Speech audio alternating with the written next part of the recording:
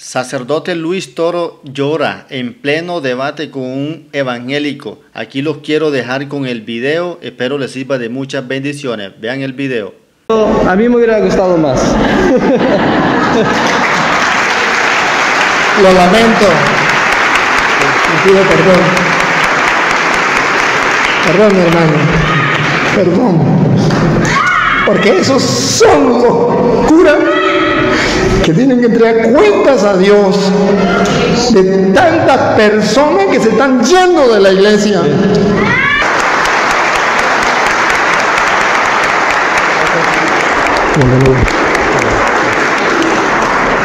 Querido hermano, en primer lugar, debe saber que lo estamos filmando. No, aquí, aquí arriba. En primer lugar, debe saber que lo estamos filmando. Que lo que usted diga no se puede retractar, ya quedó grabado. En segundo lugar, el mundo entero lo va a ver y lo va a escuchar. Si usted dice mentiras, la gente lo va a ver porque yo le voy a demostrar. Si yo digo mentiras, la gente lo va a ver porque usted lo va a demostrar. Y cada quien va a sacar sus conclusiones. Si usted me trata mal, la gente va a ver que no está viviendo el Evangelio. Si yo lo trato mal, la gente va a ver que yo estoy viviendo el Evangelio. Entonces, vamos a tener un compartir. Vamos a gritarle al mundo que los cristianos no nos odiamos, que nos amamos. Exactamente. Y que los cristianos podemos compartir como hermanos. Que tenemos diferencias, ¿quién no lo sabe? Que tenemos doctrinas distintas, ¿quién no lo sabe? Pero que también tenemos el deseo de exponerla para buscar la verdad. Y creo que eso es lo que lo mueve a usted y eso es lo que me mueve a mí y esto es lo que mueve a la gente. Por tanto, esperamos en Dios de que su Santo Espíritu obre en este momento, tanto en ti como en mí y en lo presente, para que no sea ni tu forma de pensar ni la mía, sino que sea la verdad de Dios que salga del cielo. Pre preséntese, diga de qué iglesia, cómo se llama, de qué iglesia es y qué quiere compartir. Gracias. Y muchas gracias por Acérquese. la oportunidad. Muchas gracias por la oportunidad de estar aquí. Ah, y así como dijo ah, el señor Toro, eh, nosotros nos amamos. Yo Lo pongo. Bueno, Los dos. Los dos, tiene que ser los dos. oh, tienen que ser los dos. Que yo, creyente en Jesucristo, en Dios y en el Espíritu Santo, yo amo al Señor Toro. Yo los amo a todos ustedes. Yo amo al Señor. Y, y así como Él dijo, estamos aquí para saber la verdad y no poner nuestra propia interpretación, pero por medio del Espíritu Santo que el Señor mismo nos lo revela a nosotros, porque yo no les quiero decir, mira, yo quiero que ustedes crean así, yo quiero que ustedes se vuelvan protestantes, yo no vine aquí, yo ni siquiera tenía planeado venir hoy, apenas escuché de este evento hace tres horas. Y, y yo nunca he hecho nada así. Pero lo que sí sé es que Dios quiere que tengamos una relación con Él profunda y fuerte, porque eso es lo más importante en nuestra vida.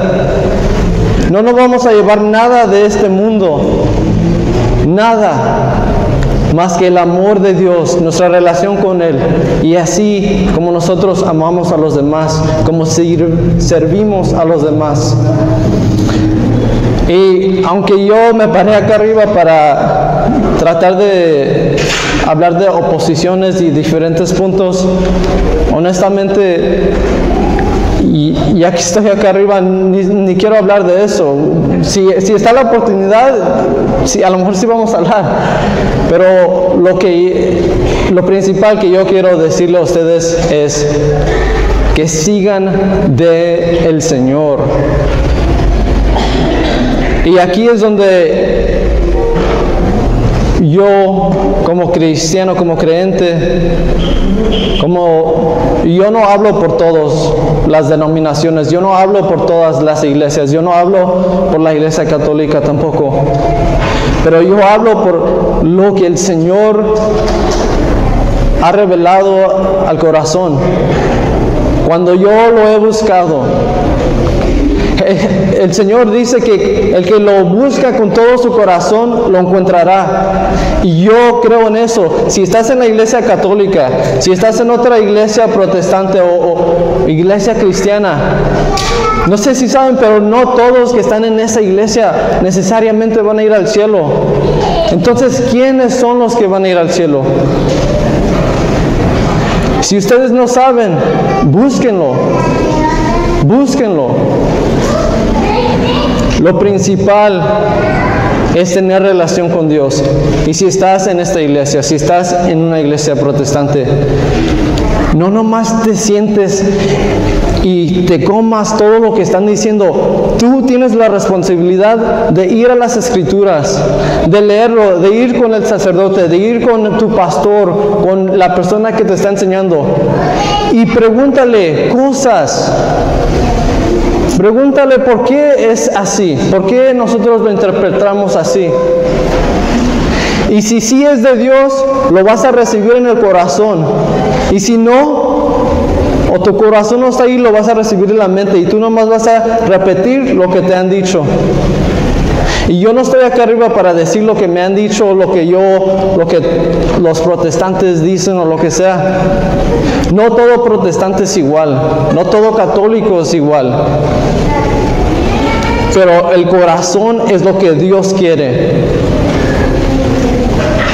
Y en la diferencia que yo tengo, porque pues es la razón que había venido para acá arriba reciente, es, quiero hacerles una pregunta. ¿Quién mandó a crucificar a Jesús? ¿Quién? Los mismos judíos, la misma iglesia la misma, el mismo templo, los mismos líderes son los que crucificaron a Jesucristo, son los que mataron a los apóstoles. Ellos mismos. ¿Por qué? Porque tenían envidia, porque eran, caminaban como hipócritos y no querían saber la verdad de Dios. Pero los que sí querían conocer de Jesucristo lo conocieron por medio de los apóstoles, por medio de los discípulos. Y eso nos llama el Señor a conocerlo. Jesús cuando resucitó fue a sus discípulos y les dijo, vayan a todas las naciones y hagan discípulos de todas las naciones. Bautícenlos en el nombre del Padre, del Hijo y del Espíritu Santo eso le dijo a los discípulos, vayan y hagan discípulos. Jesús resucitó con toda la autoridad, con todo poder del cielo y del universo. Y le dijo a sus discípulos que los había entrenado por tres años, les dijo, vayan y hagan discípulos. No les dijo, vayan y hagan un protestante. No les dijo, vayan y hagan un católico. No les dijo, vayan y hagan lo que sean, lo que quieran. Dijo, hagan discípulos, así como yo los he, les he enseñado, enséñenle a los demás. Y yo, yo siento que ese es el problema con las iglesias cristianas católicas. Que ya no, la gente ya no quiere leer, ya no quiere entender, ya no quiere saber más de Dios. Nomás quieren, así como, así como el, el Instagram, como Facebook, todo lo quieren ya, así, así, así. Pero cada uno de nosotros tenemos la responsabilidad de conocer de Dios.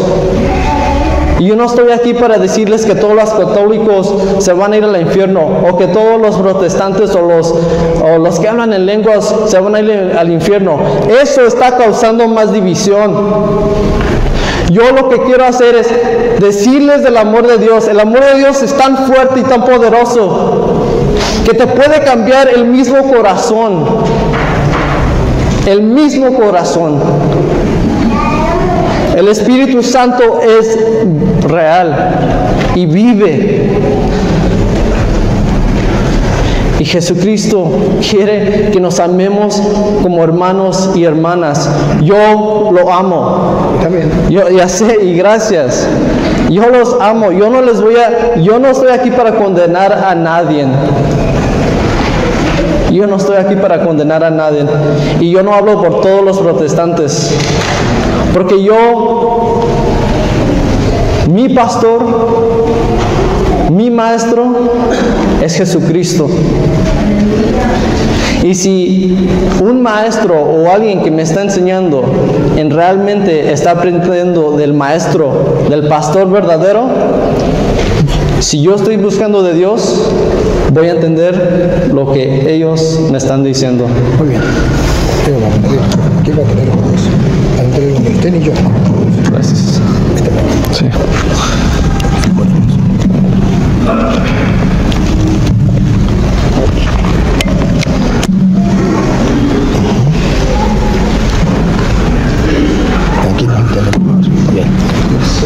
Ahora, bien. Mm, Yo estoy de acuerdo dice. Nosotros también buscamos de Dios, nos dejamos guiar y por eso estamos aquí. Buscamos de Dios, creemos en la palabra, estamos aquí igual que usted. Pero sí nos gustaría saber a qué nominación pertenece. Pues voy a una iglesia que es no, no denominacional. Está bien. Sí, me Está bien. explicar. Sí. Este, no tiene nombre, no, no tiene nombre, pero es una iglesia, pero no tiene nombre. Está bien. ¿Me podría decir quién la fundó y cuándo?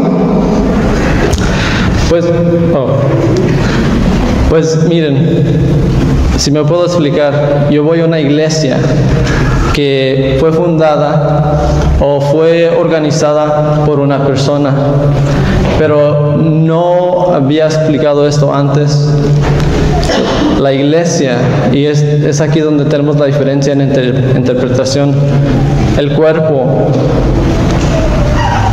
son los que siguen a Jesucristo, son los que son discípulos de Jesucristo. Y aunque yo me congrego en una iglesia no denominacional, yo me considero hermano como ustedes. Si ustedes no lo ven así, está bien. Pero me congrego en una iglesia. ¿Y sabe quién la fundó y cuándo? Ah, sí, Eh, el pastor Miles y la fundó como en el 2001 en San Diego. Y perdóneme la pregunta, si la fundó en el 2001, en el año 2000, ¿dónde estaba esa iglesia? Pues esta, y, eh, esta, esta es la diferencia en la que tenemos, que la iglesia, la, la forma que usted la ve, ustedes la ven, es la organización, las paredes. Ok, ok, no, qué bueno, qué bueno, no, está bien, está bien. Es que esta gente ya está, esta gente ya está preparada. Esta gente usted no me le va a caer mentira, esta gente ya está No, está preparada. bien, está bien, eso es bueno, como que es muy bueno, muy bueno. Pero sí, este señor decidió juntar a otros para que sigan más de Dios y formó una iglesia y pues eh, ahí es donde se congregan. Pero ¿Y la eso, iglesia y eso pero- está permitido en la Biblia? ¿Que puede usted agregar, agarrar un grupo y fundar una iglesia y decir que es la iglesia de Cristo? ¿Eso usted está permitido? ¿Usted me puede comprobar con la Biblia? Lo necesito, muéstrenlo. no sé. ¿Existe o no existe en la Biblia? Que, que lo que hizo ese pastor de agarrar un grupo y fundar una iglesia después de que Cristo ya había fundado la de él, eso está permitido según las escrituras. Me voy a dar capítulo y versículo para comprobarlo porque aquí se trata de sacar a luz la verdad.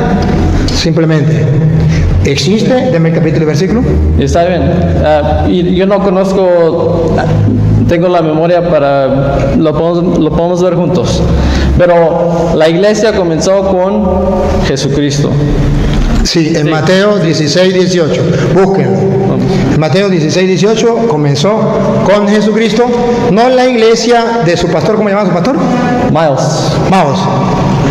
La iglesia, la iglesia del pastor Maos no nació con Jesucristo.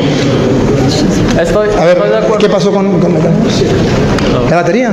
Venga para acá, pásale para acá. Tenga un momentico aquí. Eh.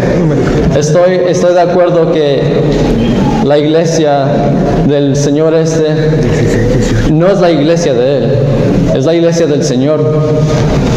Entonces, El, el, el pastor no dice, esta es mi iglesia, sino es la iglesia del Señor.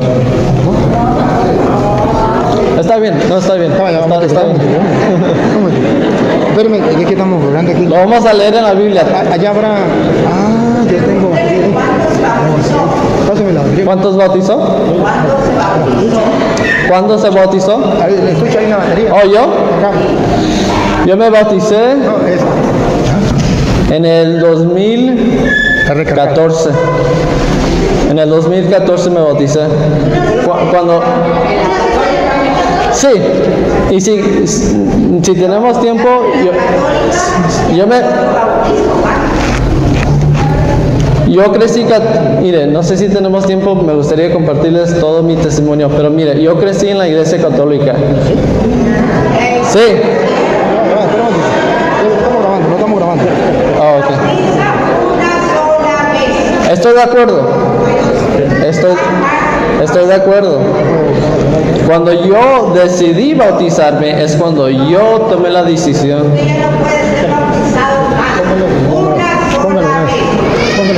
Los discípulos y cuando bautizaron a los demás, está bien. Ah.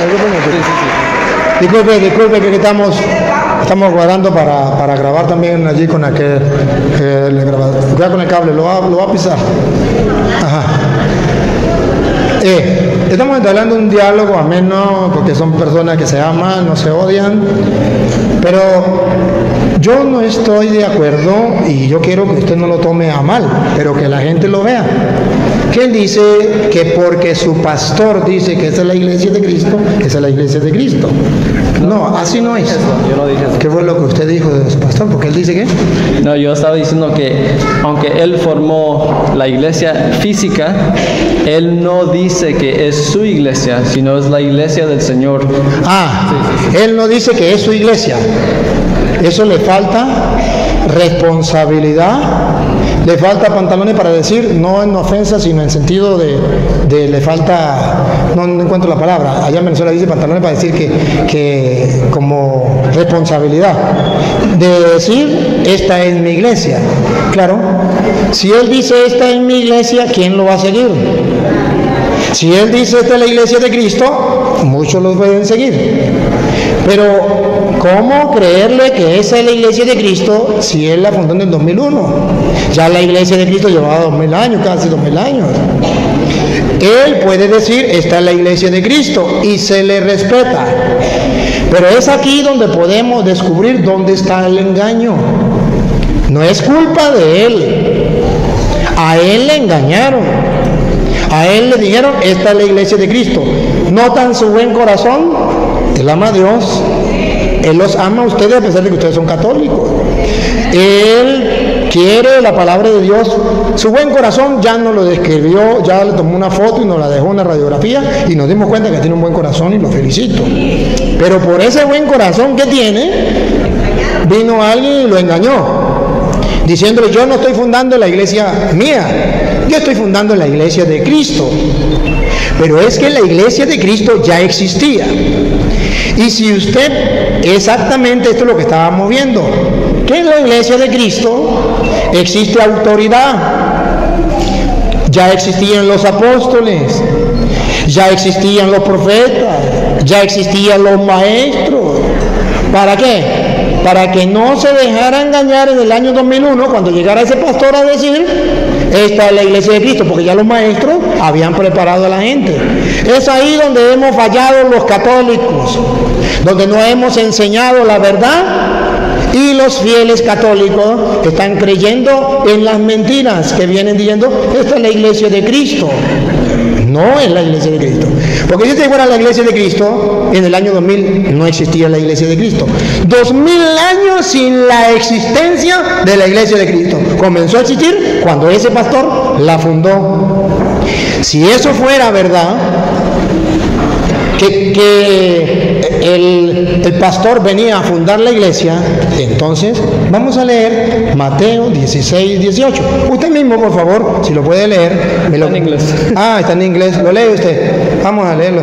Eh, lo va a leer para que ustedes se den cuenta que ya Cristo fundó su iglesia. Mateo 16, 18. Y ahora yo te digo, tú eres Pedro, o sea, piedra, y sobre esta piedra edificaré mi iglesia. Pregunto, ¿cómo que se llamaba su pastor? ¿El pastor que fundó su iglesia? Miles. Maos. No le digo, Maos vendrá en el 2001. Él fundará mi iglesia.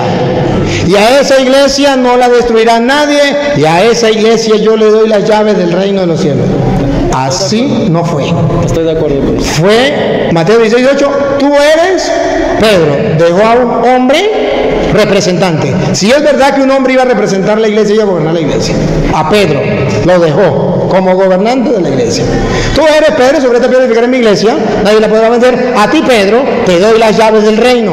Lo que ates quedará atado, lo que desates quedará desatado. Es decir, la iglesia de Cristo quedó en manos, encargada, encargado Pedro, no el pastor de él. Ahora yo le hago la pregunta, si usted está de acuerdo conmigo, entonces dígame algo. ¿Por qué Jesús le dio el encargo a Pedro y después viene ese pastor Mao y funda otra iglesia diciendo que la es la de Cristo? Explíquemelo porque me quedo sin entender y está la oportunidad de que la gente lo sepa. Gracias. La iglesia sí comenzó con Jesucristo, principal, y luego los apóstoles y los discípulos. Aquí Jesús le dice a Pedro que en esta piedra va a ser su iglesia. Pero tenemos que, leer, tenemos que leer antes y después de qué está hablando Jesús y por qué le dice esto a Pedro.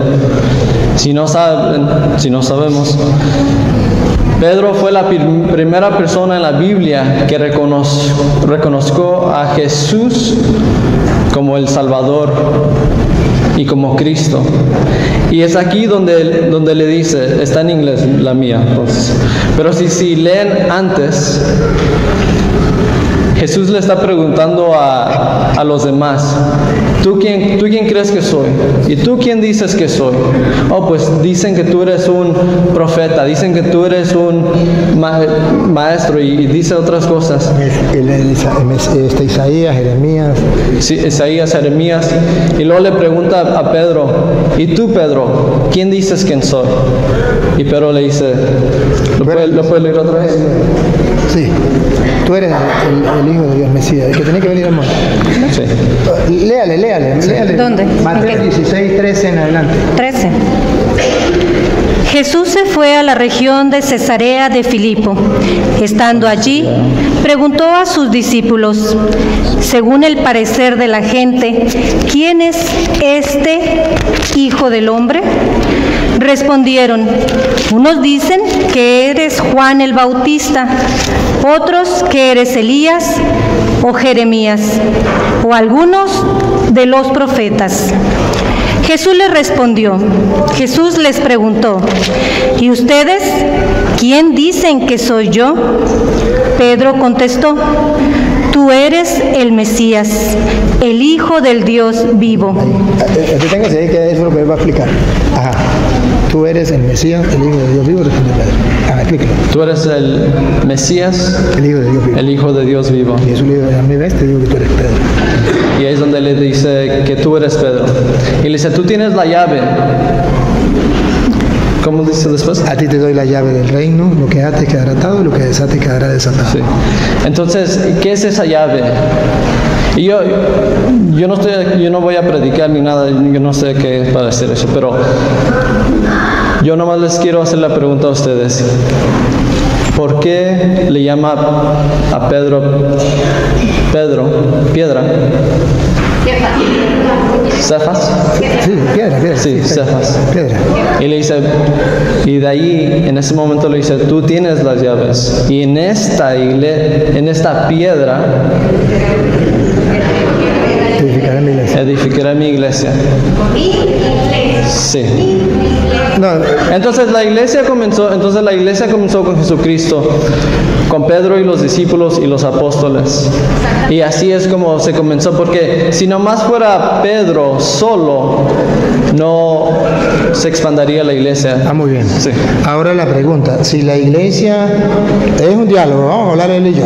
Si la iglesia fue fundada por Cristo, con Pedro, no solo, sino con los apóstoles, que estamos de acuerdo, pero que a Pedro estamos de acuerdo que le dio las llaves y que le dijo lo que ate quedará atado, lo que desate quedará desatado, que en castellano significa tú tienes la autoridad sobre ella, si no, no le das la llave.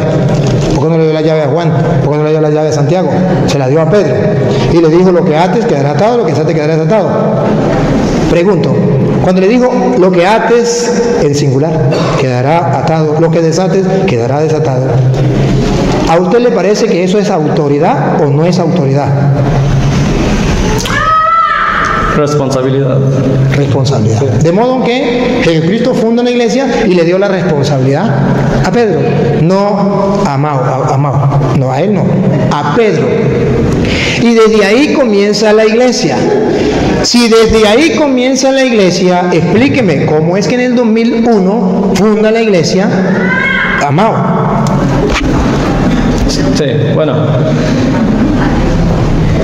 Cuando uno cuando uno busca del Señor y ha sido discipulado por otros, hay unos que sienten el llamado de comenzar una congregación. Y por eso es que se abren diferentes denominaciones.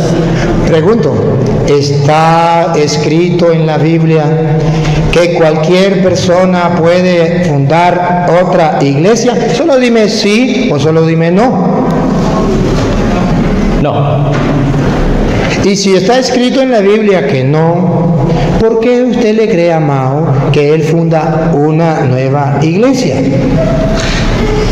porque es el concepto de la iglesia. ¿Cuál es el concepto? Vamos al concepto. Si es el concepto, vamos a aclarar conceptos para hablar el mismo idioma. ¿Cuál es el concepto? Sí, ya le doy chance. ¿Cuál es el concepto que usted tiene de iglesia? Ya le damos chance a usted. ¿No es católico? Ah, ok. Muy bien. ¿Cuál es el concepto que usted tiene de iglesia? Y así nos entendemos. ¿Qué es la iglesia? La iglesia es el cuerpo de la gente que cree en Jesucristo y que lo sigue. que cree en Jesucristo. Eh, Sí es verdad, Mateo capítulo 28, versículo 19 en adelante. Que cree en Jesucristo, pero ojo, algo muy importante, que ustedes van a ver que la iglesia no es cualquier congregación que dice creo en Jesucristo. Jesucristo mismo lo va a explicar. Si es una congregación que cree en Jesucristo, pero no solamente cree en Jesucristo, le cree a Jesucristo. Y ese es el error, que creen en Jesucristo. Porque los evangélicos creen en Jesucristo. Los pentecostales creen en Jesucristo. Los mormones creen en Jesucristo. Todos creen en Jesucristo. Adelante. Ajá. Entonces la idea es, a ver, una cosa, si es, cree en Jesucristo, ¿de qué manera? Vamos a escuchar. Dale, Mateo 28, 19 en adelante. Vayan pues y hagan que todos los pueblos sean mis Que discípulos. todos los pueblos sean mis discípulos. Hasta ahí estamos claros. Pero escuchen lo que viene. Bautícenlos en el nombre del Padre y del Hijo y del Espíritu Santo. Primera condición. Para que sea de la iglesia de Cristo, tiene que bautizarse en el nombre del Padre y del Hijo y del Espíritu Santo. Y quiero que escuche la segunda condición de esa congregación, que no puede fallar. La segunda, escúchenla. Y enséñenles Enséñenles a cumplir a cumplir todo lo que yo les he encomendado En castellano dice, no lo que diga Mao. Lo que Amao venga a enseñarles, ustedes deben enseñarlo. Aquí dice, la condición número dos es que ustedes no van a enseñar lo que les dé la gana. lo que le venga a la mente, o lo que venga un hombre después diciendo es que a mí me parece o a mí me, me, llegó una revelación del cielo y me dijo esto. No, la condición de la iglesia es, ustedes van a enseñar lo que yo les he enseñado o mandado a ustedes. Punto. He dicho, digo Cantifla. Si tomamos en cuenta eso, entonces la iglesia no es únicamente aquel que crea en Cristo, sino aquel que enseña lo que enseñó Jesucristo. Y si alguien enseña otra cosa distinta, es un falso profeta. Sí habla de Jesucristo, pero de una manera falsa, errada, distinta. ¿Dónde lo dice la Biblia? Segunda de Corintios, capítulo 11, versículo del 1 en adelante, donde dice la Biblia que si viene, enseña a Jesucristo, pero si lo enseña de otra manera, aunque hable de Jesucristo, error, error, no es la iglesia de Cristo y son falsos profetas. Vamos a escucharlo. Ahorita le doy chance para la pregunta. Dale, vamos a escucharlo. Segunda de Corintios 11. Segunda de Corintios 11, del 1 en adelante. Ojalá me aguantaran algunas tonterías. Eh, querido hermano, por favor, segunda de Corintios 11, 1, y escuche que este, usted mismo dijo que el que busca a Dios lo encuentra. Usted está buscando de Dios y ha venido hoy aquí. Y hoy aquí usted va a encontrar la palabra de Dios, que yo no se la voy a decir, sino que la va a escuchar de, de aquello que le están leyendo. Óigala, dale, otra vez. Ojalá me aguantaran algunas tonterías. Como usted no es de la iglesia católica, puede creer que lo que yo le diga sea tonterías. Pero ojalá me aguante esas tonterías. Dale. Claro que la aguanta. Si quiere, la escucha. Dale. Estoy celoso de ustedes. Estoy celoso de ustedes, queridos hermanos. Todo. De católicos y protestantes. Dale. Y son celos de Dios. Y son celos de Dios. No estoy aquí por maldad y no estoy por insultar a los protestantes, ni para maldecirlos, ni mucho menos. Y están viendo cómo lo estoy tratando. Pues los he ofrecido a Cristo como una joven virgen a la que yo he desposado con el único esposo. Yo no quiero que anden corriendo tras otro. Siga. Y mi temor es que la serpiente que sedujo a Eva con astucia podría también pervertirles la mente a ustedes. Queda claro. Satanás no descansa. Así como destruyó la mente de Eva, sigue trabajando y ese es el temor. Y ponga cuidado cómo Satanás destruye la mente de las personas. Ponga cuidado. Dale. Para que dejen de ser sinceros con Cristo. Para que deje de ser sincero con Cristo. ¿Cómo se es sincero? Se deja de ser sincero con Cristo. Ponga cuidado. Dale, ahí viene. Ahora vienen a predicarles a otro Jesús, no como se los predicamos, y les proponen un espíritu diferente del que recibieron y un evangelio diferente del que abrazaron y lo aceptan sin dificultad. ¿Cómo es que trabaja Satanás? Presentándole a Cristo, pero de otra manera a como se le ha enseñado. El Evangelio se lo presentan, pero de otra manera a como se le ha enseñado. Aquí no dice que cualquier persona que crea en Cristo ya es la iglesia de Cristo. Dice que hay quienes creen en Cristo de otra manera y eso es por obra de Satanás, que eso no es la iglesia de Cristo. Y que enseñan el Evangelio, predican el Evangelio, pero de otra manera. Y eso no es inspiración divina, eso es inspiración de Satanás. Como lo hizo con Eva, viene y lo hace ahora con los cristianos. Y meten al Espíritu Santo. Y, y luego, ¿cómo se llaman? Dale. Y la gente lo acepta sin dificultad. ¿Y cómo lo se llaman ellos mismos? Dale. Sin embargo, No creo ser inferior en nada a esos superapóstoles. Y esas personas que traen un mensaje distinto y dicen que son cristianos de y la iglesia de Cristo, un evangelio distinto con el Espíritu de Dios, se llaman superapóstoles. Ahora, esta es la verdadera iglesia de Cristo. Esta sí es verdad. Este es un apóstol, superapóstol, una iglesia renovada, una iglesia mejor que las otras. Eso es engaño de Satanás. ¿Y cómo lo dibuja la Biblia? ¿Cómo son? Escuche, verso 13. ¿Cómo lo considera Dios a esa persona? El 13. En realidad son falsos apóstoles. Escuche, hermano. Escuche. Engañadores. No me empuje, niña. Escuche, hermano. Si usted busca la verdad, oiga, en realidad que son, que es amado, que viene con otro evangelio, que viene hablándole de Cristo de otra manera y hablando del Espíritu de otra manera. ¿Qué es en realidad? Dale. En realidad son falsos apóstoles. Usted lo considera superapóstol, pero en la realidad, a los ojos de Dios, son falsos apóstoles. Otra vez, niña. En realidad son falsos apóstoles. Escuche lo que viene. Engañadores, Lo engañaron y no se dio cuenta. disfrazados Disfrazados, de apóstoles de Cristo. ellos no le van a hablar de Satanás. Ellos le van a hablar de Cristo. Y esta es la iglesia de Cristo. Y somos apóstoles de Cristo. Y somos la iglesia de Cristo.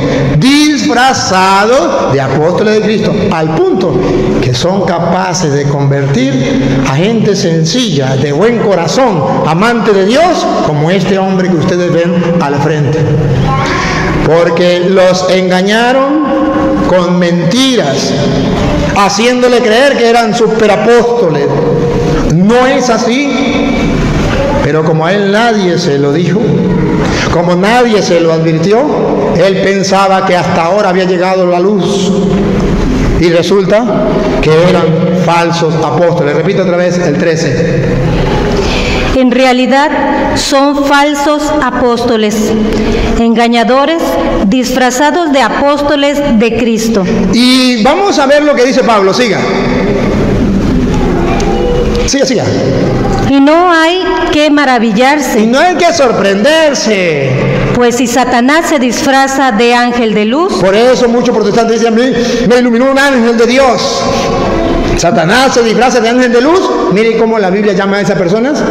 no es mucho que sus servidores se disfracen también de servidores del bien. Se disfrazan los servidores del diablo, se disfrazan de servidores del bien. Y si usted no está pendiente y usted no observa qué es lo que Dios mandó, que estemos en su iglesia, su congregación, y que enseñemos no lo que le dé la gana a cada uno, sino lo que mandó el Señor, entonces viene una persona con una novedad que no existía, hasta el año 2000 no existía, y en el 2001 comienza a existir, y ellos comienzan a creer.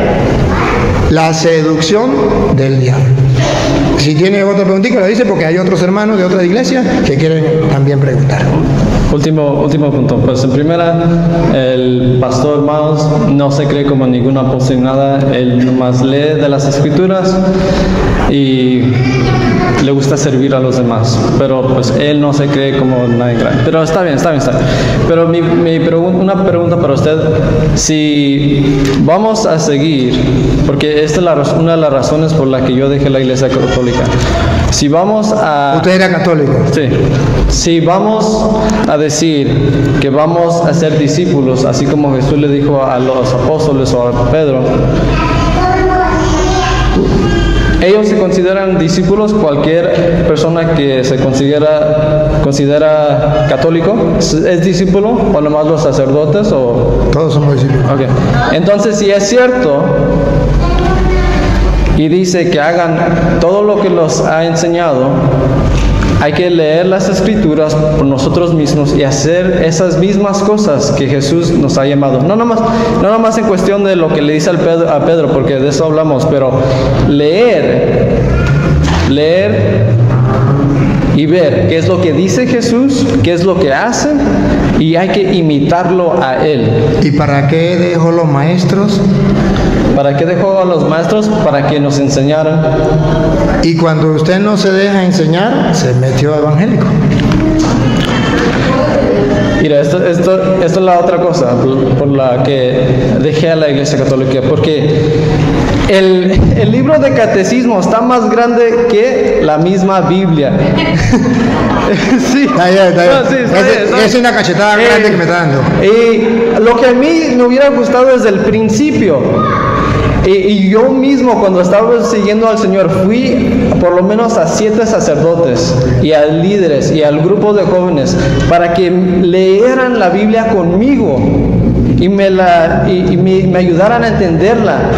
Pero nadie me, nadie me ayudó. Les preguntaba preguntas difíciles y no me las respondían. Me daban una respuesta que le habían dicho a alguien más y alguien más. Lo que yo quería saber, ¿qué es lo que Jesús está diciendo? ¿Qué es lo que nos está diciendo que hagamos? ¿Cómo quieres Jesús, tú, que entienda lo que estás diciendo? Pero bueno, eso a mí me hubiera gustado más.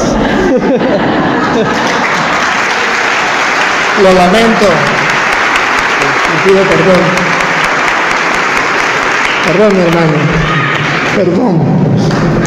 Porque esos son los curas que tienen que entregar cuentas a Dios de tantas personas que se están yendo de la iglesia.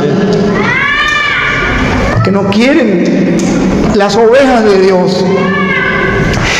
Y no les duele un hermano de nuestra iglesia parte del cuerpo de Cristo, se lo llevaron. Eso es lo mismo. Al fin y al cabo, ¿qué? No de mi familia. Ven el corazón de Él buscando ayuda, buscando auxilio. ¿Y dónde están los pastores? El buen pastor da la vida por las ovejas. El que es un asalariado ve venir el lobo y huye. Porque no le importa las ovejas. ¿Dónde están los pastores de la iglesia? Y no lo digo yo, aquí hay un testimonio de un hermano. Parte de nuestro cuerpo, la iglesia, se fue. ¿Y a quién le importó? A nadie. ¿Qué dirá Cristo? ¿Qué dirá Cristo? Y es que no vamos a responder. Y es que no nos va a llamar al juicio.